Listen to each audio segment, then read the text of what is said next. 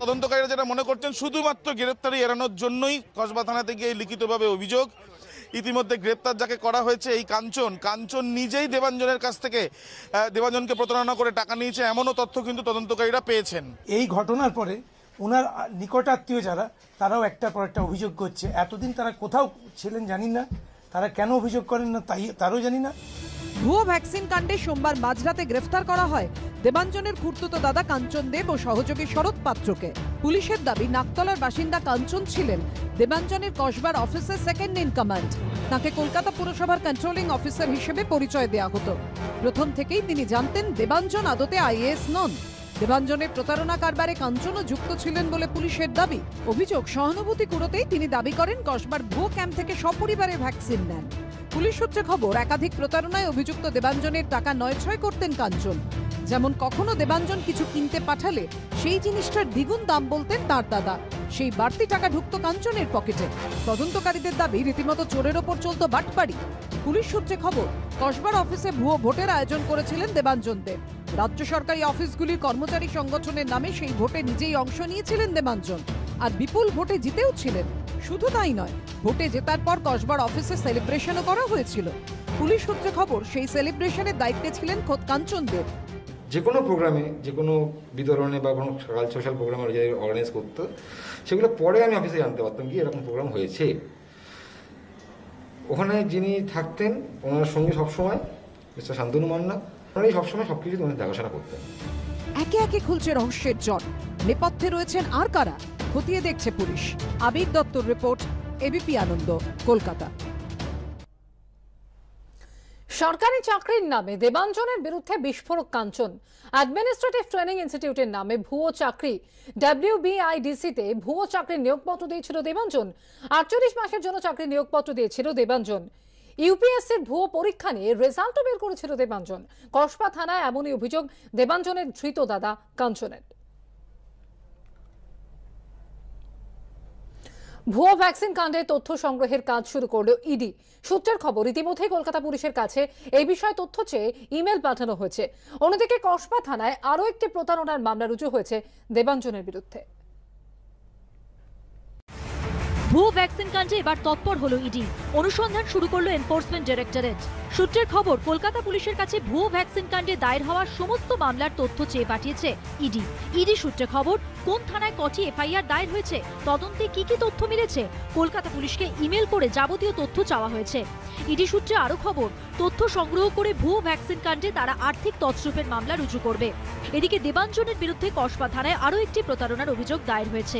Projector desktop biometric তথ্য সংগ্রহের যন্ত্র কিনে প্রায় চার লক্ষ টাকা প্রতারণার অভিযোগ করেছেন তালতলার এক ব্যবসায়ী। আরও এক কীর্তি সামনে এলো দেবাঞ্জনের। কর্মীদের প্রশিক্ষণ দেবেন বলে তালতলা এলাকার এক ব্যবসায়ীর কাছ থেকে একাধিক কম্পিউটার এবং একটি অ্যান্ড্রয়েড প্রজেক্টর কিনেছিলেন দেবাঞ্জন। ভুয়ো নথি দেখিয়ে কিনেছিলেন এবং সেই ব্যবসায়ী আর্থিক ক্ষতি হয় তার। এরপরে তিনি কসবা থানায় এফআইআর করেন। আমার কাছ থেকে একাধিক ডেস্কটপ কম্পিউটার নিয়েছে কর্মীদের অ্যাটেন্ডেন্সের জন্য বায়োমেট্রিক নিয়েছে এবং কর্মীদের প্রশিক্ষণ দেওয়ার জন্য প্রজেক্টর নিয়েছিল। আমরা টেন নোটিশ দেখতাম টেন্ডার ড্রপ করতাম যথাসময়ে যথাদিন টেন্ডার ওপেনিং হতো ওপেনিং হওয়ার পরেতে যারা এল ওয়ান হতো তাদের অর্ডার দিত আমাকে প্রপার ওয়ার্ক অর্ডার দিয়েছি আমি সাপ্লাই দিয়েছি আমার কাছে রিসিপ্ট আছে চালান এগুলো পুরো একদমই নয়। সূত্রের খবর, অ্যান্ড্রয়েড প্রজেক্টরের মাধ্যমে কর্মীদের ভ্যাকসিনেশনের প্রশিক্ষণ দিতেন দেবাঞ্জন। এদিকে দেবাঞ্জনের বিরুদ্ধে কাজ পাইয়ে দেওয়া বা আর্টিস্ট ফোরামের কাজ করে দেওয়ার নাম করে প্রতারণার অভিযোগ তুললেন এক অভিনেত্রী। প্রথমত একটা অভিজ্ঞতা, আমাকে চান্স দেওয়ার আগে আমার গ্রুপেরই বেশ কিছু ছেলে মেয়েদের দিয়ে আর একটা সিনেমা উনি তৈরি করেন, যেটা শুটিংও হয় এবং ওটা রিলিজ হয় না। এবং এই বইটা চলাকালীন আমাকে আর একটা সুযোগ দেওয়া হয়। টাকা পয়সা নেওয়া হয়েছিল যেমন কারোর থেকে দু হাজার কারোর থেকে পাঁচ হাজার, কারোর থেকে বারো হাজার। টলি ক্লাবের হচ্ছে কার্ড বানিয়ে দেওয়ার জন্য। সময় যত এগোচ্ছে, ততই সামনে আসছে দেবাঞ্জনের একের পর এক কীর্তি। প্রকাশ সিনহা, ময়ূর ঠাকুর চক্রবর্তী ও সত্যজিৎ বৈদ্যর রিপোর্ট এবিপি আনন্দ। চোখ খবরে। বাস চালালে ট্রেনও চালান। কার্যত লকডাউনে মুখ্যমন্ত্রীর গণপরিবহন চালুর সিদ্ধান্তকে কটাক্ষ করে পরামর্শ দিলেন দিলীপ ঘোষ। অযৌক্তিক কথা, রাজ্যে সবচেয়ে বেশি করোনা সংক্রমণ ছড়িয়েছে বিজেপি। পাল্টা বিঁধল তৃণমূল শিবির।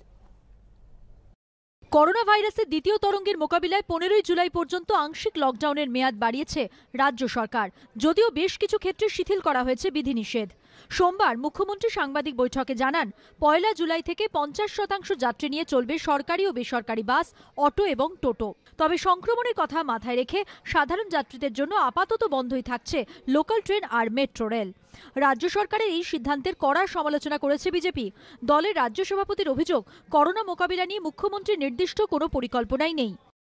শহরকে স্বাভাবিক করতে হয়। বাসের প্যাসেঞ্জার কোথা থেকে আসবে? যদি ট্রেন না চলে, যদি মেট্রো না চলে, তো সেই জন্য যদি স্বাভাবিক জীবনে ফিরতে হয়, উনি এদিকে উপনির্বাচন চাইছেন যে স্বাভাবিক হয়ে গেছে, করোনা চলে গেছে, অথচ ট্রেন চলছে না, তো কোনটা? নিজের স্বার্থেই সব ডিসিশন নিচ্ছেন। লোকাল ট্রেন যতক্ষণ না চলবে, ততক্ষণ জীবন স্বাভাবিক হবে না।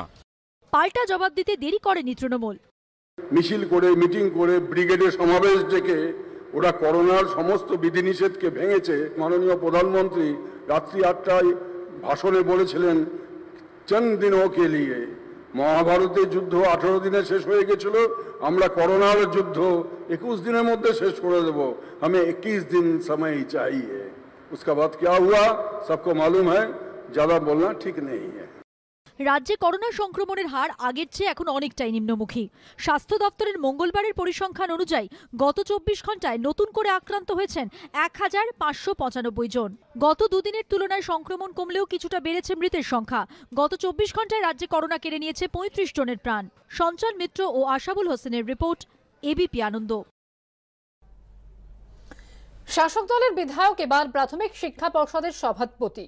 দায়িত্ব নিয়ে তার ঘোষণা, দশ হাজার পাঁচশো শিক্ষক পদে নিয়োগের কাউন্সেলিং এর নির্ঘণ্ট প্রকাশ করা হবে আগামী মঙ্গলবার। পাশাপাশি জানুয়ারিতে নেওয়া টেটের ফল প্রকাশ করা হবে পুজোর আগে। এই নিয়োগ নিয়ে চাপানোতর শুরু শাসক ও বিরোধীদের বিধানসভা ভোটে তৃণমূলের টিকিট পাওয়ার পর প্রাথমিক শিক্ষা পর্ষদের সভাপতি পদ থেকে ইস্তফা দিয়েছিলেন মানিক ভট্টাচার্য। নদিয়ায় পলাশীপানা থেকে বিধায়ক হয়েছেন তিনি।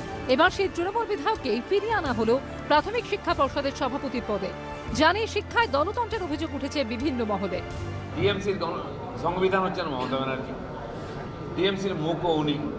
তাদের কার্যালয় হচ্ছে ওনার বাড়ি। ওই পার্টিতে স্বজন পোষণ সংবিধান, এক পদ এগুলো বলার জন্য ঠিক আছে। বাস্তবে এর কোনো অস্তিত্ব নেই। যদিও শিক্ষামন্ত্রীর দাবি যা হয়েছে তা আইন মেনেই। স্বশাসিত বোর্ডের সভাপতি কোনো এমএলএ হতে পারবেন পারবেন না এরকম কথা কোনো আইনে নেই। দ্বিতীয়ত আমরা আইন খতিয়ে দেখেছি অফিস অফ প্রফিট এখানে হচ্ছে না। যার নিয়োগ নিয়ে এত বিতর্ক তিনিও এর মধ্যে কোনো অন্যায় দেখছেন না। আমাদের বিধায়ক কেন? মানে নির্বাচিত বহু মানুষই বহু সরকারি কাজে যোগদান করেন তবে বিধি অনুযায়ী। তো এটা বিধির দেশ নিয়মের দেশ। নিয়ম মেনেই সবাই চলবে বাম আমলেও আশির দশকে এই অভিযোগ সামনে আসে। তৎকালীন সিপিএম বিধায়ক পার্থ দে বসেছিলেন প্রাথমিক শিক্ষা পর্ষদের সভাপতির পদে। শিক্ষাবিদদের একাংশের মতে বিষয়টি আইনের নয় নৈতিকতার। অনেকে প্রশ্ন তুলছেন এর মধ্যে কি শিক্ষায় দলতন্ত্রের সম্ভাবনা উঁকি দিচ্ছে না? আমাদের যিনি চিফ মুখ্যমন্ত্রী ইলেকশনে এত ভালো রেজাল্ট হয়েছে সারা পশ্চিমবঙ্গ তো বটেই সারা ভারতবর্ষকে কাঁপিয়ে দিয়েছেন। সেই পরিপ্রেক্ষিতে এইসব ব্যাপারের মধ্যে শিক্ষার একটা নিজস্ব স্বাধীনতা, সেটা মেনটেন করা যোগ্য কথা। সভাপতি নিয়োগ বিতর্কের মধ্যেই শিক্ষক নিয়োগের ঘোষণা করেছে পর্ষদ। দুর্গাপুজোর আগেই দশ হাজার পাঁচশো প্রাথমিক শিক্ষক পদে নিয়োগ প্রক্রিয়া শেষ হবে। আগামী মঙ্গলবার প্রকাশ করা হবে এই নিয়োগ সম্পর্কে কাউন্সেলিং এর নির্ঘণ্ট। জানুয়ারিতে নেওয়া প্রাথমিক টেটের ফল প্রকাশ করা হবে পুজোর আগে। স্বচ্ছতার স্বার্থে এই প্রথম প্রাথমিক টেটের ফল প্রকাশের আগে পরীক্ষার প্রশ্নের সঠিক উত্তর ওয়েবসাইটে জানিয়ে দেওয়া হবে।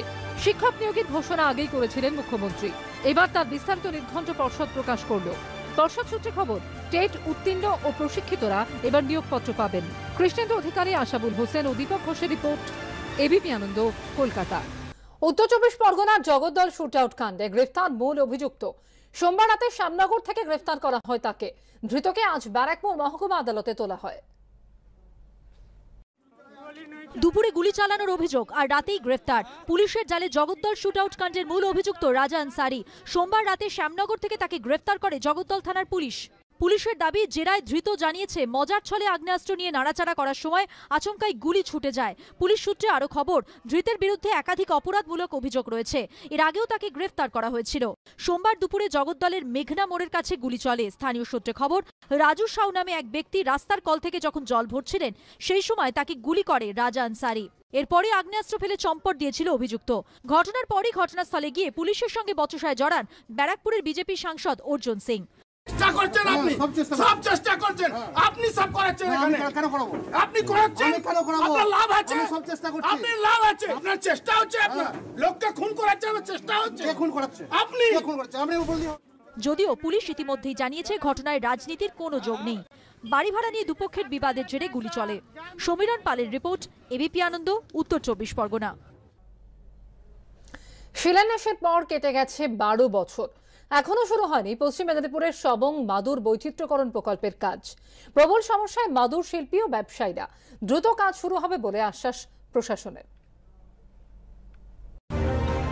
শিলান্যাস হয়েছিল দু সালে, কিন্তু বারো বছর কেটে গেলেও এক বিন্দু কাজ এগোয়নি পশ্চিম মেদিনীপুরের সবংয়ের মাদুর বৈচিত্র্যকরণ প্রকল্পের। করোনা আবহে কার্যত লকডাউনে এখন সংসার চালানোই দায় রুইনান গ্রামের মাদুর শিল্পীদের। যেখানে এতদিনে মাদুরের হাব গড়ে ওঠার কথা ছিল, সেই জমি এখন চারণভূমিতে পরিণত হয়েছে।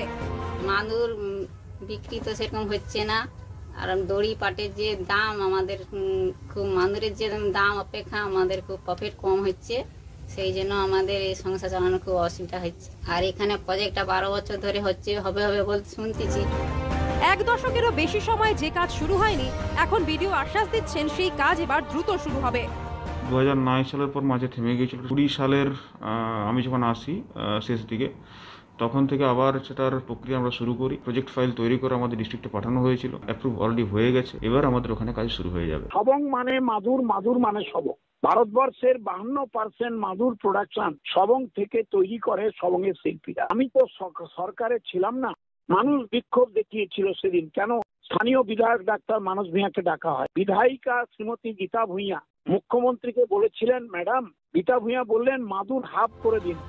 শেষ পর্যন্ত কবে প্রকল্পের কাজ শুরু হয় সেদিকেই তাকিয়ে শিল্পীরা। অমিত জানার রিপোর্ট এবিপি আনন্দ, পশ্চিম মেদিনীপুর।